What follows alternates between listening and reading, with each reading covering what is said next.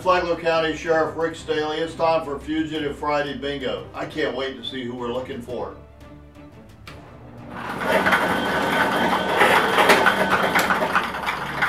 Corporal Weatherhold at Fugitive Unit number 10's time's up. Who is it? Number 10 is Jason Labelty. He's a 34 year old white male standing 5 feet 8 inches tall, weighing 170 pounds. He is wanted for violation of probation for dealing in stolen property. So here's a thief. He's stealing from you. A judge gave him a chance, a break to turn his life around, and he couldn't even comply with the, those requirements. Call us with your tips. Call Crime Stoppers 188 277 TIPS.